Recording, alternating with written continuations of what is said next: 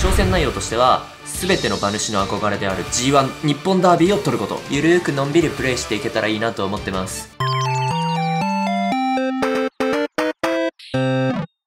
初の競走馬カナタウロスは成績不振。全財産をかけた一世一代のギャンブルも虚しく大敗に終わってしまう。そんな本郷に手を差し伸べたのは利率2割のインテリメガネだった。頑張れ本郷ファーム!さあ続きやっていきましょう。前回ね、えー、ギャンブルで大敗してしまって2億円借金したところから始まります。ただね2億円もお金があるのでちょっと本郷ファームの体制を見直して強い馬をじゃんじゃん入手していきたいと思います。さあカナタウロスさんが3歳未勝利戦に出るみたい。7番での出走です。ジョッキーをねミルコ・デムーロさんにお願いしたよ。これは勝ってくれるんじゃないの？ダート 1600m に出します。スタートしました。少しばらついたスタートダートっていうのはねあの今まで走ってたのが芝の上を走ってたんですけどダートっていうのは砂の上を走る感じですね。なんかパワーとかが多分必要になってくるっていう感じだと思います。さあじわじわとちょっと上がってきてる雰囲気は出てますよ。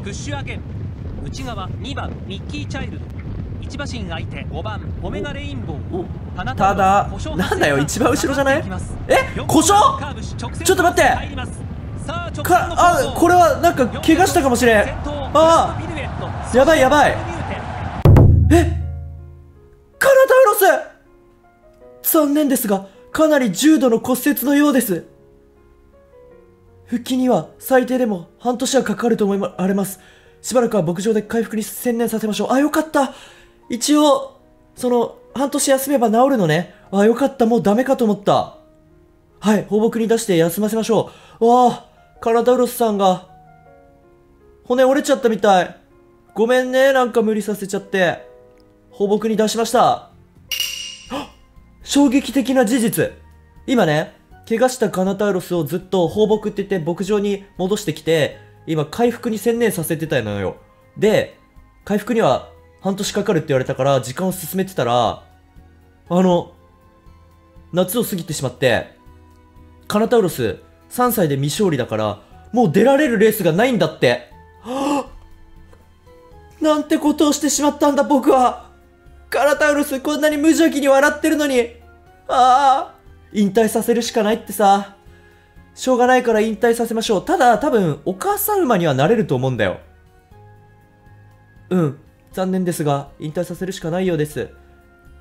どうしよう。じゃあ登録抹消ですかね残念ですが、繁殖入りするか引退するか選んでください。うん、お母さんになろう。うん、繁殖牝馬にあげます。あ、よかったよかった。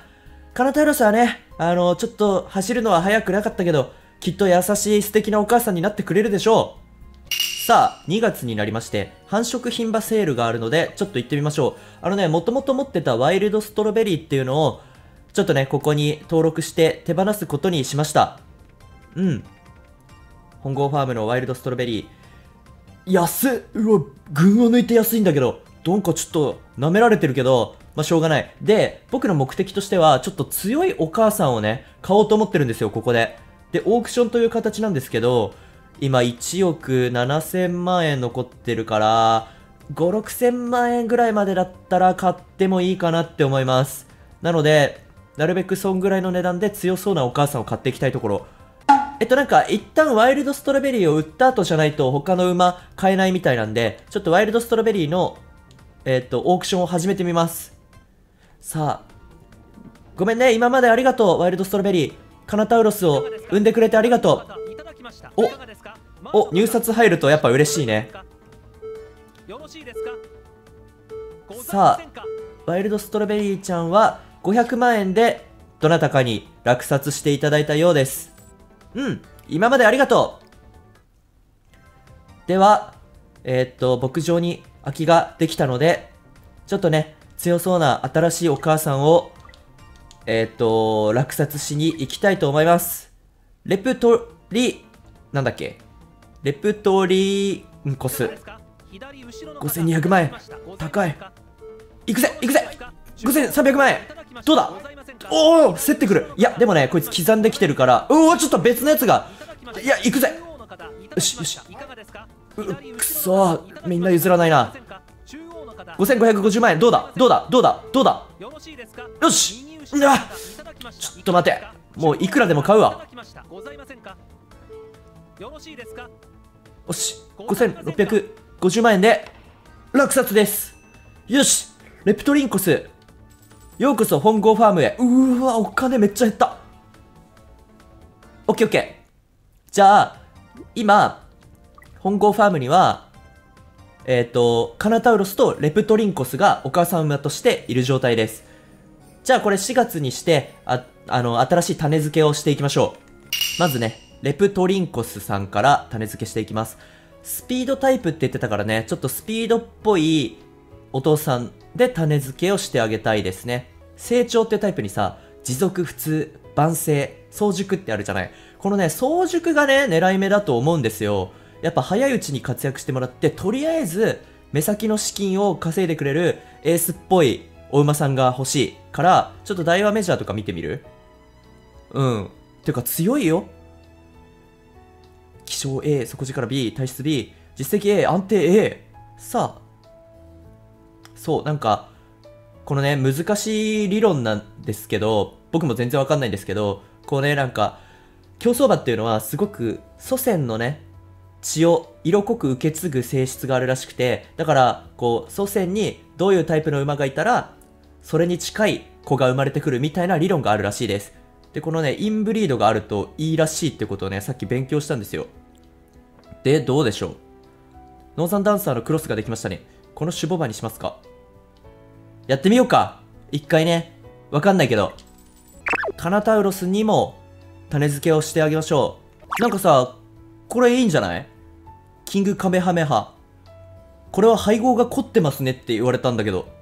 1200万円もするけどカナタウロスにはキングカメハメハをちょっと種付けしました。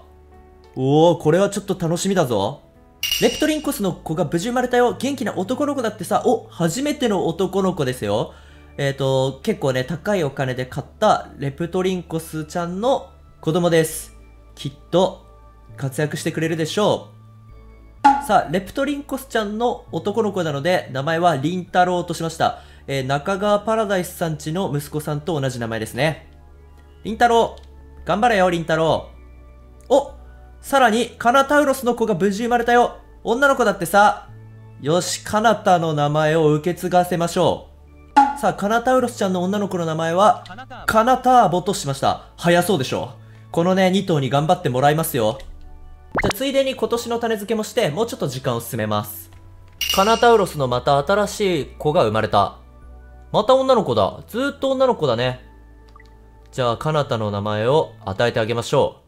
さあ、カナターボの妹ですが、カナタクシーと名付けました。カナタクシーうん、いいでしょう。レプトリンコスの2番目の子が生まれた。リンタロウの妹ですね。女の子だって。よし、名前を付けましょう。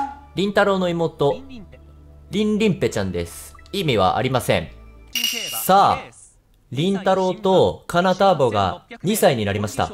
で、これは、リンタロウのデビュー戦です。安城は和田隆二ジョッキー。ここまでね、結構あの、お金がどんどん減ってってやばいやばいってなったんで、2歳馬を買って、その買った馬に活躍してもらったりとかしながら、なんとか食いつないできました。ただ、そう言っても、牧場の全部の資金は今、もう3000万円ぐらいしかないのよ。だから、この、えっと、りんたろうと、カナターボにはマジで活躍してもらわないと本当に困るっていう状態です。で、その、カナターボとりんたろうよりも下の世代もどんどん種付けとかをして、今、たくさん競走馬を生産している状態ではあります。ただ、本当にね、あの、この2人には勝ってもらわないと困るっていう感じですよ。さあ、どうだ？直線勝負。りんたろう、いいんじゃない？いいんじゃない？いいよ、こっから伸びれば。どうだ？伸びないか？伸びないか？どうだ？あ、いいかもいいかも。どう？どう？どう？どう？どう？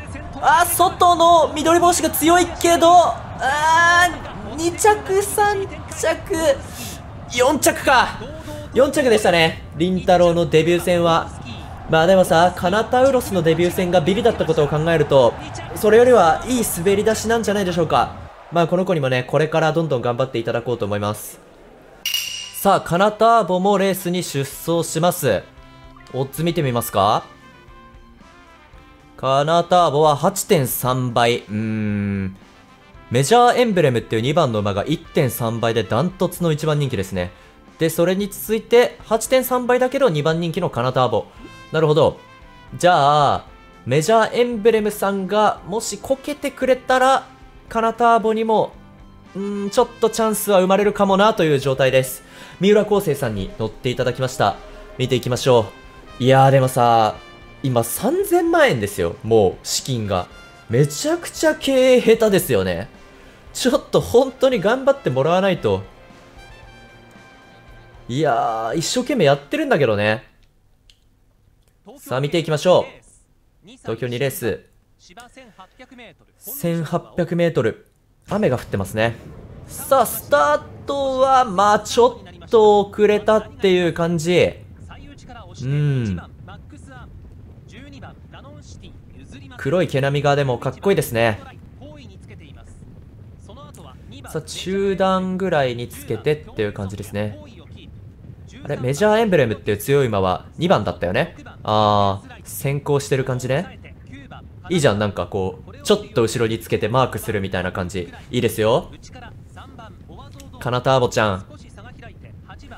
カナターボちゃんは女の子だからね。さあ。どうだろうな。カナターボかリンタロウかどっちかにはマジで活躍してもらわないと本郷ファームがマジで割っちゃうから。